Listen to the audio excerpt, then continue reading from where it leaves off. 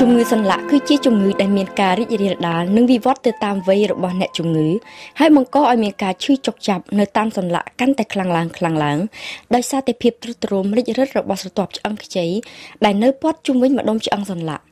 តែសូមប្រិយមិត្តជ្រាបថាជំងឺសន្លាក់ដែលលើកយកមកនិយាយនៅពេលនេះមិនមែនជាជំងឺរលាកឆ្អឹងឬរលាកឆ្អឹងខ្ចីនៅម្ដុំសន្លាក់ទេ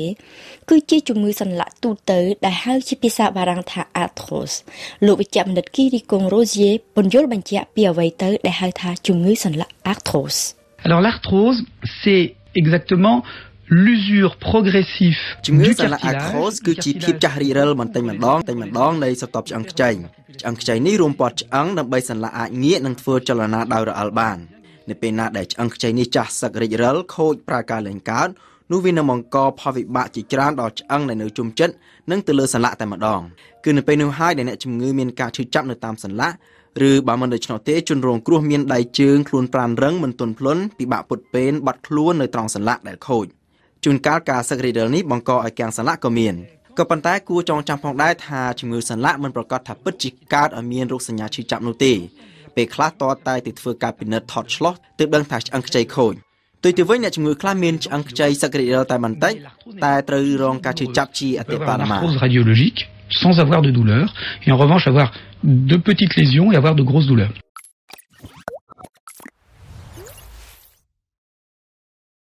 ការសឹករិចរិលរបស់ឆ្អឹងខ្ចីគឺជាសញ្ញានៃជរាភាពនេះគឺជាការគិតរបស់អ្នកស្រាវជ្រាវវិទ្យាសាស្ត្រកាលពីពាក់កណ្ដាលទសវត្សរ៍ឆ្នាំ70ហេតុដូច្នេះហើយបានជាគេមិនសូវចាប់អារម្មណ៍ទៅលើការសិក្សាស្រាវជ្រាវដែលតាក់ទងនឹងជំងឺឆ្អឹងទេ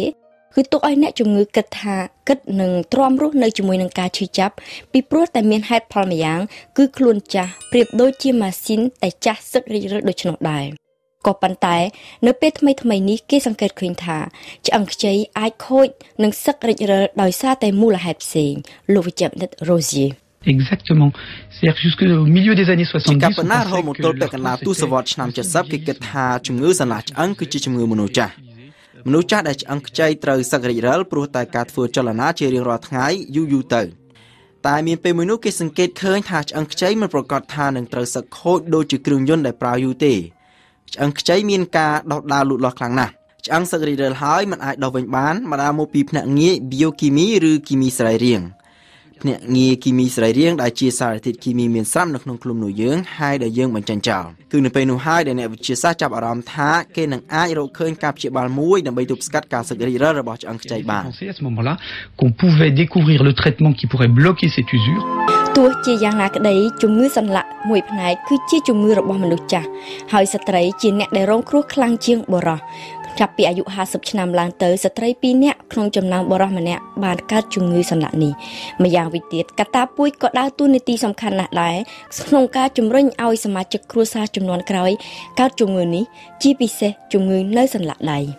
Alors l'arthrose extrêmement familiale c'est l'arthrose des mains l'arthrose des ជំងឺ doigts សន្លាក់ដែលគេជួបប្រទះញឹកញាប់ជាងគេគឺសន្លាក់ដៃបើមានជីដូនជីតាម្ដាយឬបងប្អូនក្នុងគ្រួសារណាម្នាក់កើតជំងឺនេះហើយកូនចៅចំនួនក្រោយងាយនឹងឈឺសន្លាក់ដៃជើងជង្គង់ចន្លាក់ឆ្អឹងកចង្កេះនិងម្រាមជើងណាស់ក្រៅពីកត្តាពូជរបៀបរបបរស់នៅក៏ជាផ្នែកមួយដ៏សំខាន់បង្កឲ្យឆាប់មានបញ្ហាសន្លាក់ដែរអ្នកបញ្ចេញកម្លាំងកាយខ្លាំងធ្វើការធ្ងន់តាំងពីវ័យក្មេងៗនិងឆាប់មានបញ្ហាសន្លាក់មិនខានមិនថាស្ត្រីឬបុរសឬជាតិសាសន៍ណាទេ ជានេះទៅទៀតបើអ្នកមានជំងឺសន្លាក់នៅដៃហើយប្រឹងធ្វើការប្រើដៃច្រើននោះវានឹងធ្វើឲ្យជំងឺនោះកាន់តែធ្ងន់ធ្ងរហើយត្រូវគិតថាសន្លាក់នៅត្រង់កន្លែងផ្សេងៗទៀតក៏មានបញ្ហាដែរ efforts avec ses mains eh bien elle va augmenter encore son risque d'arthrose ដោយលោកអ្នកនាងបានជ្រាបហើយថាបច្ចុប្បន្ននេះអ្នកស្រាវជ្រាវតែងតែរកឃើញនៅរបៀបព្យាបាលជំងឺថ្មីថ្មីៗជាច្រើនទៀតប្រឆាំងនឹងជំងឺសន្លាក់នេះក៏ប៉ុន្តែពុំទាន់មានការព្យាបាលណាមួយដែលប្រសើរជាងគេបំផុតតែមួយគត់អាចជួយបំបត្តិការឈឺចាប់ទប់ស្កាត់នឹងការសឹកខូចខាតរបស់ឆ្អឹងខ្ចីនិងធ្វើឲ្យសន្លាក់មានចលនាប្រសើរជាងមុនបានទេព្រោះម្យ៉ាងសន្លាក់មាននៅច្រើនកន្លែងណាស់ដូច្នេះត្រូវការព្យាបាលតម្រូវតាមករណីនីមួយៗរបស់សន្លាក់ ហើយម្យ៉ាងវិញទៀតពុំមានការព្យាបាលណាដែលប្រសើរជាងគេឥតខ្ចោះនោះទេ ការព្យាបាលត្រូវតែធ្វើឡើងទៅតាមករណីជាក់ស្ដែង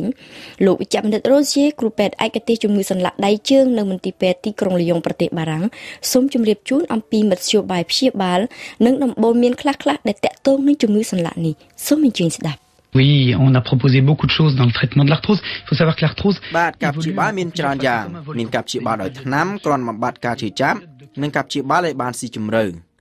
ជំងឺសន្លាក់ប្រៀបដូចជាភ្នំភ្លើងអញ្ចឹងភ្នំភ្លើងដែលមានពេលខ្លះទៅស្ងប់ស្ងាត់ពេលខ្លះក៏ផ្ទុះឡើងបង្កជាការឈឺចាប់នៅពេលដែលមានអាការៈឈឺចាប់ស្ដែងឡើងគេអាចព្យាបាលដោយប្រើថ្នាំបំបត្តិការឈឺចាប់ហើយនៅក្នុងរយៈពេលដែលក៏មានការឈឺចាប់ពេលនោះយើងគួរធ្វើសរសៃចាក់មុតចូលវិទ្យាសាស្ត្រដើម្បីសម្រួលនឹងការបង្កាត់កាត់បន្ថយការឈឺចាប់ការធ្វើសរសៃនេះវាជាប្រយោជន៍សម្រាប់អ្នកដែលមានបញ្ហាសន្លាក់នៅជើងនិងឆ្អឹងខ្នងប៉ុន្តែគួរចងចាំថាត្រូវធ្វើកីឡាឲ្យស្របនឹងកម្លាំងកាយ ស្របនឹងកម្លាំងសន្លាក់មិនមែនសម្របកម្លាំងសន្លាក់ឬប្រឹងដើម្បីធ្វើកីឡានោះទេការឡើងទម្ងន់ជាសត្រូវចម្បងបង្អស់របស់ជំងឺសន្លាក់គួររួសរាន់មកជួបគ្រូពេទ្យនៅពេលដែលមានរោគសញ្ញាការឈឺចាប់នៅតាមសន្លាក់ជាពិសេសចាប់ពីអាយុ40ឆ្នាំទៅនិងជៀសវាងកុំឲ្យឡើងទម្ងន់បរិភោគបាយបន្លែត្រីសាច់និងជីវជាតិគ្រប់មុខឲ្យបានស្មើស្មើគ្នាស្របតាមតម្រូវការរបស់រាងកាយដើម្បីរក្សាសុខភាពឲ្យបានល្អ